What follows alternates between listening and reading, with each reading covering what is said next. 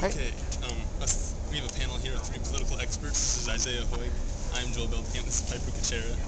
And we're at the Iowa Caucus Eve, and we're here wondering why are there only two parties that are ever considered realistically for the presidential election? I'm just gonna put this out there. Please. Personally, I feel for Green Party. Green Party? Green Party because we get some press, but the press that we get, it's always negative. It's always sarcastic. It's always mocking. We mm-hmm. never get a full, strong representation. That is so true. And people are so dissatisfied with the state of American politics today. It seems strange that we should keep the status quo of only two parties, who everyone seems to hate. So do we have to have three parties, or can we have five parties? Well, here's ten the thing. parties? Instant runoff voting. People get to choose three choices for candidates, and then if no candidate wins a majority, the lowest candidate gets all their to- votes tossed out, and their second choice to get counted. That would allow third parties to break in, because people who like Ralph Nader could vote for Ralph Nader, and not just have to swallow down and vote for Al Gore. Who likes Ralph Nader? Five percent of the American population.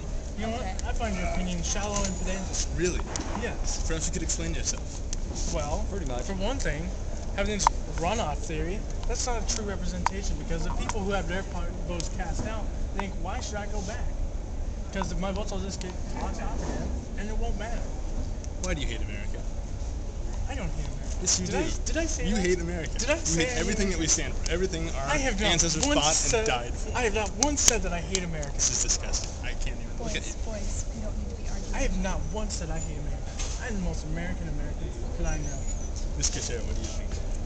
Not about him, about third parties. Okay, okay. Um, I think we should just have a write-in ballot for the whole thing. and not have any campaigning. No, no campaigning at all.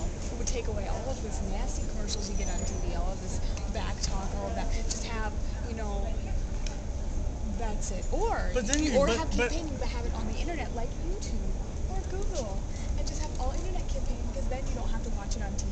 You I can just agree. go to it I and agree. watch But this will when you want to increase. Clean the airwaves. But this will increase the surplus of pop-ups, unwanted pop-ups, and spam, That's and why you get a spyware. pop-up blocker yes. and Those- make it illegal If campaign, if There ought to be a law.